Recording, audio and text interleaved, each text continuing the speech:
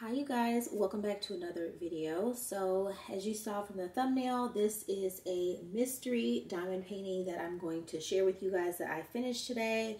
I'm so happy you guys. It's been a long time since I finished anything really.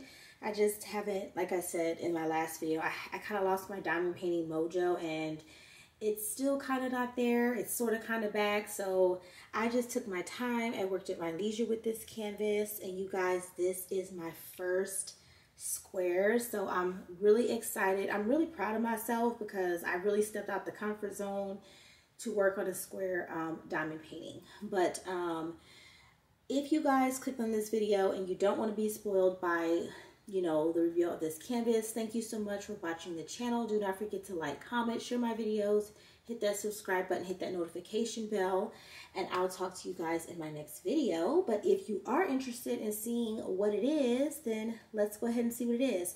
So I did kit up in my Craftmates Lockables, you guys, and let me tell you guys a really quick, really quick funny story.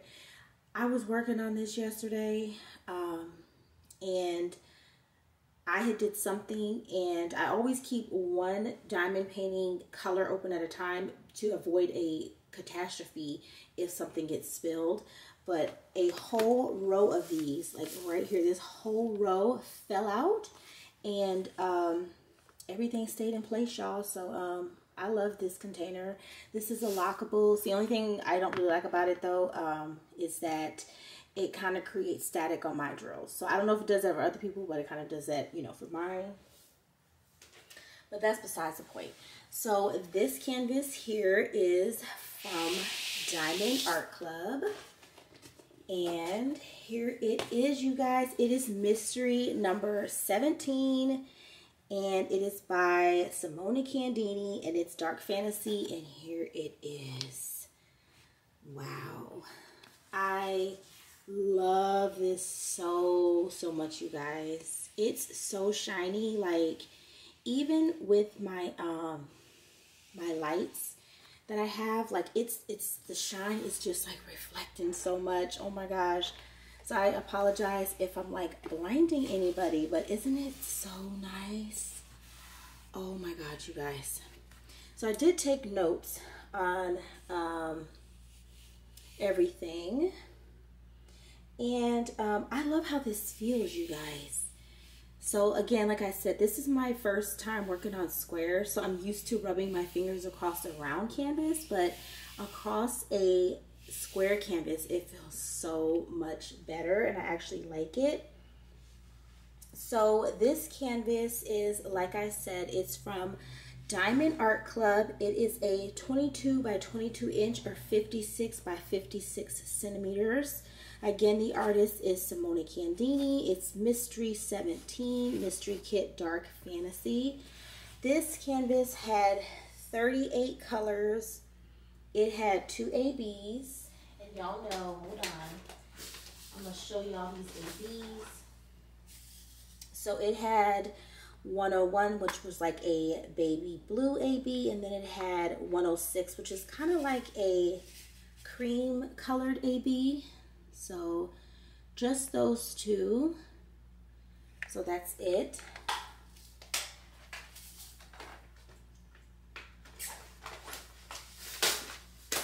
So um, I will say having those two ABs in this canvas was perfectly fine for me. With this being the dark canvas that it is, I do not think any more ABs would have been necessary because had it been anything else extra added, I think it would have been a little bit too much for um, the whole canvas um, in general. I do want to say um, this canvas is limited edition. I do believe Diamond Art Club's uh, mystery kits are all limited edition. So this one, I I think it's no longer available, but um, I do see this often floating around on like the destash groups and stuff. I have seen it on Mercari once before. So if you're interested, you can check out places like that. Um, you know, if you're, like I said, interested. So, um, my first square, you guys. I'm so excited. Like I, I just like working on this was a totally different experience than working on a round. And I'm someone who's never ever did a square canvas, placed a drill on a square canvas or anything. So this being the first canvas that I worked on, I think it was awesome that it was a 56 by 56 centimeters. It was a smaller size, especially for DAC because they got big canvases. So this was a smaller size. So it was enough for me to practice for the first time and see if I like it. And um, it just was a really positive experience and I enjoyed so much on working on this canvas. I highly recommend you guys if you have not tried a mystery canvas to get yourself one and try it out because it's something that I wanted to really try and step out the comfort zone and I did and I'm really really happy that I did. Now this canvas um, I didn't do an unboxing of it, but there's plenty of people on YouTube who do diamond painting videos that did unbox this. You could kind of see what this was under here. All of the background was completely white with the black um, grid lines, I believe. Um, I think the newer mystery kits are harder to see now, and they kind of have like orange uh, dots and stuff on it. I don't know. I don't have one of those. I just have this one. So this is the only one I can um, comment on. But um, I loved every minute of working on this. It was awesome to like do rows of it and see it like reveal itself. I think that is so awesome. My husband and my son both love this canvas. I will say this about me and how I am. I did have to go look at spoilers on one of the Facebook groups because I wanted to see what this was before I got it. I'm one of those people, if I buy a canvas, especially this was like $55, maybe like 60 with taxes and everything, I want to make sure I'm going to like it if I'm going to work on it. So, um, I went and spoiled myself, you guys, and looked at this image before I got it. And I'm actually going to show you guys the image. And I'm hoping um, it shows up good and everything. Let me see. Is this, oh, yeah, this is it right here. So there's the image, you guys. Look at it. Awesome. It looks so good. And I was kind of worried about what it was going to look like at first because it is a smaller size, but it came out great. I have no worries about this up close, far away. It looks great in camera is what you see like up close and everything. Now the dollhouse, like there, like she's holding a doll here. There's some dolls here. Um, I think there's like a couple, like two dolls here, and I think there's like a a pet down here, like a like a dog or a cat or something down there. Now that's a little pixelated because you know you're within the dollhouse, so that's small. But um, other than that, I love everything. I love the cat here. The face expression is hilarious to me. I love the little scary critter down here at the bottom. The little creature in the back. Love all of that. Um, this kit does have a good amount of color blocking, line blocking, and confetti. For me, with this being a square, now with rounds, my thought process is a little bit different. But my thought process working on this one, I prefer the color blocking, like a big area of like one color. I, I loved it.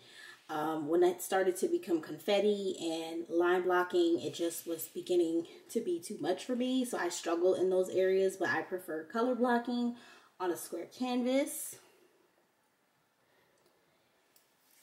Um, the diamonds on here were pretty good coming from someone again. I've never worked on squares, so I noticed that the facets on these drills were all the same, so I like that. It's great. I do have a canvas that I have in my stash that is a square. The facets are different shapes, so I'm wondering is that going to like bother me working on it? But for this one, being a, you know, the drills on here were great.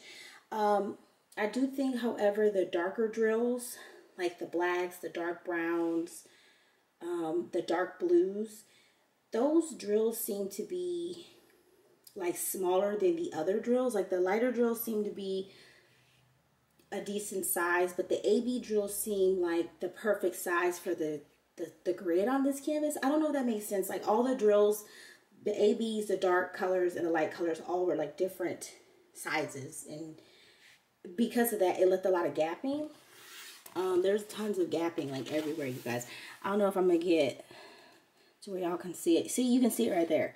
You see all this gapping? Like, because the diamonds were all different like sizes and this goes throughout the whole canvas it's all like that but um you don't really notice it unless you're like up in it and um you're only really up in the canvas if you're working on it so if I'm back I don't notice that so that's that's totally okay but it is a something I kind of like oh, I don't know if I like that or not um that's just how I feel about that um, the AB locations for all the ABs are here in the lightning bolts. And again, you guys, y'all see y'all see that gapping in there? And you can see, see? And then there's some areas where the gapping is humongous. But yeah, the lightning bolts had ABs. This moon right here at the bottom. Her eyes, the cat's eyes. Um, there's a lamp here in this dollhouse. So that lamp is giving you know, AB. Then these polka dots in her little gown dress thing. Y'all, this is so shiny. There's ABs there. And then there is ABs in little critter's eyes down here at the bottom. So not many ABs, like I said. Great location for them. Didn't need any more. Um, what else? What else? What else? Um, so that's pretty much it. Looking at my notes. Yeah, that's it. So, um, I did have a little bit of trash, y'all. Um, I kind of tossed the trash and didn't realize until after, so I don't have to trash to show you guys. But I had a lot of drills with tabs on them. And I will say with tabs, I want to make sure that when I work with squares, I just toss the tabs like in the trash because I found they're harder to like line up on the canvas if there's a tab hanging. Sometimes they don't want to like sit next to each other. With rounds, you can kind of get away with it, but with squares, I realize you can't um, at all. So, yeah, you can't. So, um, I do want to ask myself two questions and answer them for you guys. And I did um, write them down for y'all. So let me see. Um, would I do a mystery diamond painting again? Absolutely, yes. I think um, I would do one again from Diamond Art Club. But again, I'd have to go see the image and what it is before I get it. I would, however, prefer to work on something more colorful because these colors were muted and toned down. And they weren't bad, but they were kind of boring at times when you're working with darker colors. So I would want something bright and fun. But yes, I would work on a mystery again. Um, would I do a square again? It was another question that I was like, I'm going to ask myself this at the end of filming this video. So yes, I would do a square. I have maybe no more than like eight squares in my stash. I probably will not buy another one for a while um, unless it's something I really, really, really, really like. But um, I would do a square again. Um, I actually do like them, so I do think I will always have a square kitted up. Maybe just one square at a time and do that. But um, I would definitely do it again. But um, this is my diamond painting, you guys. Um, yeah, but actually what I think I'm going to do real quick is step back so you guys can see the whole canvas. And then we'll do the um, ending of the video like that. And there she is, you guys. Oh, I love her so much. Y'all know I just picked this painting straight up based off the dollhouse because I grew up and had a dollhouse and I was like, it's giving me nostalgia. So that's like the main reason I picked it. But I love it. It doesn't like look scary to me or anything. I think it's a really cool painting. And um, this is definitely a keep canvas for me. So let me know down in the comment section below what you guys thought about it. Yeah, let's talk about it. So like, comment, share you guys the video. Do not forget to hit that subscribe button, that notification bell. And I'll talk to you all in my next video. Bye.